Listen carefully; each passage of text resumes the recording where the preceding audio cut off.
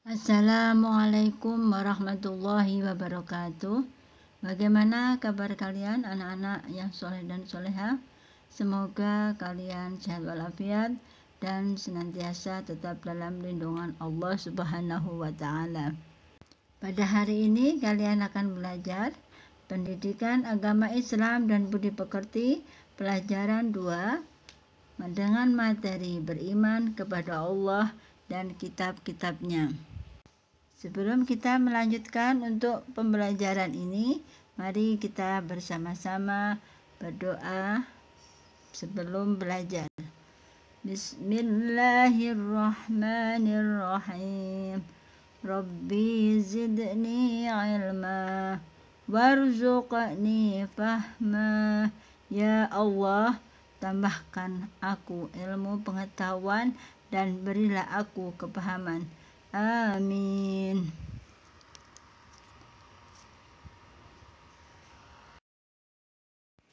Anak-anak, kali ini kalian akan melanjutkan pembelajaran pada pekan yang lalu.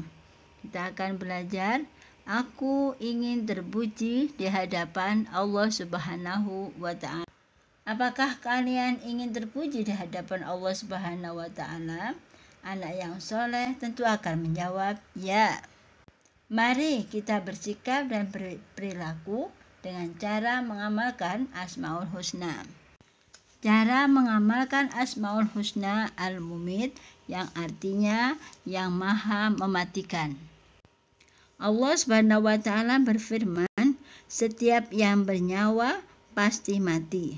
Manusia, hewan, dan tumbuhan akan mati. Manusia tidak bisa lari dari kematian Kematian bukanlah sesuatu yang ditakuti, akan tetapi kematian adalah tangga menuju kebahagiaan abadi. Nah, bila kita ingin bahagia, maka kita ikuti perintah Allah Subhanahu wa taala dan rasulnya. Misalnya, rajin sholat, rajin mengaji, hormat kepada orang tua dan guru, rajin belajar.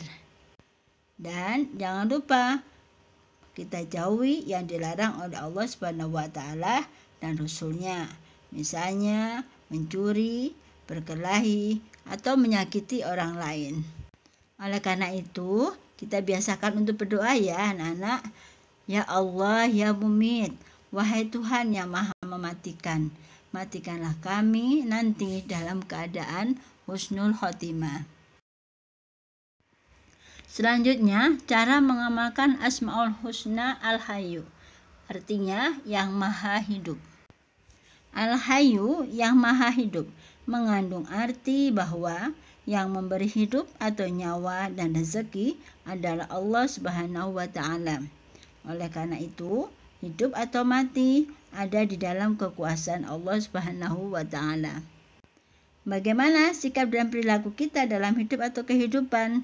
Tugas manusia adalah memelihara kehidupan dan mencari rezeki yang sudah disediakan Allah Subhanahu wa taala seperti memelihara diri sendiri yaitu dengan cara makan dan minum yang teratur dan jangan berlebihan dan selalu memelihara kebersihan agar tetap sehat.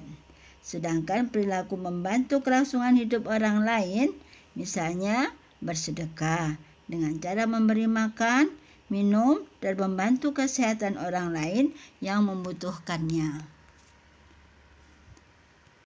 Oleh karena itu anak-anak, mari kita selalu berdoa kepada Allah, Ya Allah, Ya Hayu, wahai Tuhan yang maha hidup, hidupilah kami dalam keselamatan dan kemanfaatan.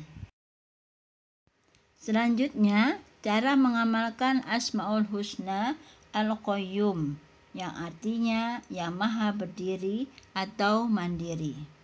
Al-Qayyum yang maha berdiri atau mandiri mengandung arti Allah Subhanahu wa taala itu berdiri sendiri untuk selama-lamanya. Allah Subhanahu wa taala memberikan pendidikan kepada manusia supaya hidup tidak selalu bergantung kepada orang lain. Hidup harus punya semangat mandiri dalam segala situasi dan kondisi. Nah, bagi siswa kelas 5, Bila di rumah, harus sudah dapat melakukan sendiri hal-hal tertentu. Misalnya, merapikan tempat tidur, mengambil sendiri pakaian sekolah, menyiapkan peralatan sekolah, mengambil sendiri sarapan atau makanan untuk berangkat sekolah atau berangkat sekolah sendiri. Dan mari kita selalu berdoa kepada Allah, Ya Allah, Ya Qayyum, wahai Tuhan yang berdiri sendiri atau mandiri, jadikanlah hidup kami tidak selalu bergantung kepada orang lain. Selanjutnya, cara mengamalkan Asmaul Husna Al-Ahad yang artinya yang Maha Esa. Al-Ahad yang Maha Esa mengandung arti Allah Subhanahu wa taala itu esa, yang maha tunggal atau esa, yang tetap menyendiri dan tak ada sekutu baginya. Allah Subhanahu wa taala mandiri, tidak membutuhkan yang lainnya.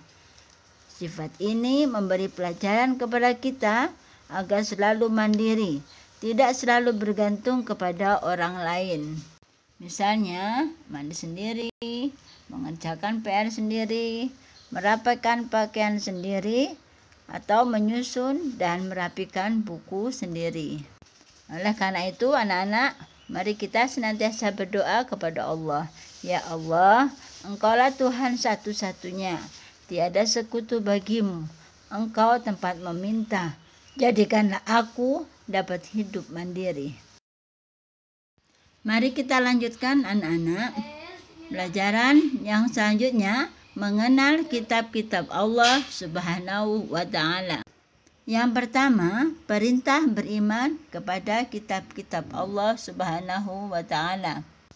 Anak-anak, mari kita perhatikan dan kita baca Quran surat An-Nisa ayat 136. A'udzu billahi minasyaitonir rajim. بسم الله الرحمن الرحيم. يا أيها الذين آمنوا آمنوا بالله ورسوله والكتاب الذي نزل على رسوله والكتاب الذي نزل على رسوله والكتاب الذي أنزل من قبل. ومن يكفر بالله وملائكته وكتبه ورسله واليوم الآخر فقد ضل ضلالا بعيدا. Yang artinya Wahai orang-orang yang beriman, tetaplah beriman kepada Allah dan Rasul-Nya dan kepada kitab yang Allah turunkan kepada Rasul-Nya serta kitab yang Allah turunkan sebelumnya. Barang siapa yang kafir kepada Allah, malaikat-malaikatnya, kitab-kitabnya, rasul-rasulnya, dan hari kemudian, maka sesungguhnya orang itu telah sesat sejauh-jauhnya.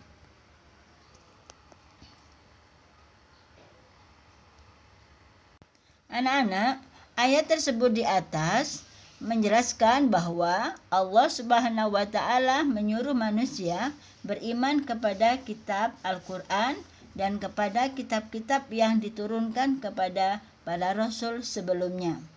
Jika tidak beriman kepada kitab-kitab itu, maka orang itu tergolong orang yang sesat. Nah, bagaimana cara beriman kepada kitab-kitab Allah itu? Caranya dengan meyakini bahwa Allah Subhanahu wa taala telah menurunkan kitab-kitabnya kepada para rasulnya melalui malaikat Jibril.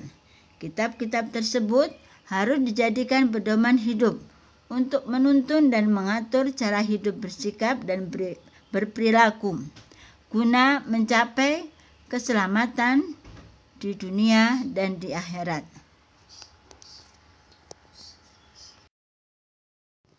Pelajaran selanjutnya adalah nama-nama kitab Allah Subhanahu wa taala. Allah telah menurunkan empat kitab suci serta beberapa suhuf yang diberikan kepada nabi dan rasul yang berbeda zaman dan umatnya. Semua kitab suci dan suhuf tersebut diturunkan oleh Allah kepada para nabi dan rasul untuk dijadikan sumber kebenaran dan petunjuk untuk memperoleh keselamatan dan kebahagiaan dunia dan akhirat. Kitab tersebut yang pertama adalah Kitab Taurat. Kitab Taurat diturunkan kepada Nabi Musa alaihissalam.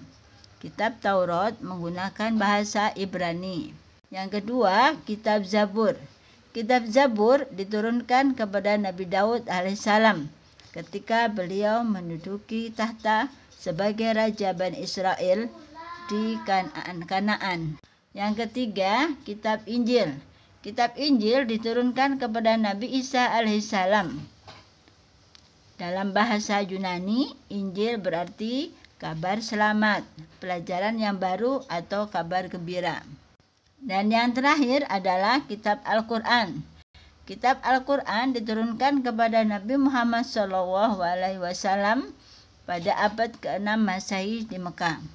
Peristiwa turunnya Al-Quran dikenal dengan Nuzulul Quran. Al-Quran terdiri dari 114 surat, 30 juz dan 6236 ayat. Dan Al-Quran diwahyukan selama 22 tahun, 2 bulan, dan 22 hari. Pelajaran selanjutnya adalah Kitab Allah Subhanahu wa taala membawa ajaran terpuji. Yang pertama, ajaran terpuji kepada Sang Pencipta Allah Subhanahu wa taala. Anak-anak, bagaimana kita berperilaku kepada Sang Pencipta Allah Subhanahu wa taala? Yaitu dengan cara melakukan ibadah sholat, berdoa, mohon pertolongan kepada Allah Subhanahu wa taala dengan mengangkat tangan. Yang kedua, ajaran terpuji kepada sesama manusia. Kitab Allah mengajarkan kepada kita agar saling tolong-menolong di antara sesama manusia, saling memaafkan kesalahan teman, dan selalu berjabat tangan jika ketemu dengan teman dengan wajah yang berseri-seri. Yang ketiga, ajaran terpuji kepada hewan dan tumbuhan. Anak-anak, bagaimana kita berperilaku terpuji kepada hewan dan tumbuhan? Yaitu dengan cara memberi makan dan minum kepada hewan peliharaan kita dan menyiram tanaman yang ada di sekitar kita. Yang keempat, ajaran terpuji kepada diri sendiri. Kitab Allah mengajarkan agar kita juga berperilaku terpuji kepada diri sendiri. Sebagai contoh, kita membiasakan diri memotong kuku ketika kuku kita panjang atau senantiasa berhias dan menjaga kebersihan diri. Anak-anak, demikianlah pembelajaran kita hari ini tentang beriman kepada Allah dan kitab-kitabnya. Sebagai tugas kalian adalah buatlah rangkuman dari pembelajaran PAI dan Budi Pekerti pelajaran 2. Kemudian tulislah rangkuman kalian di buku tulis PAI kalian masing-masing. Tetap semangat belajar ya anak-anak. Mengakhiri pembelajaran kita kali ini, mari kita membaca hamdalah bersama-sama. Alhamdulillahirrabbilalamin. Semoga bermanfaat. Wassalamualaikum warahmatullahi wabarakatuh.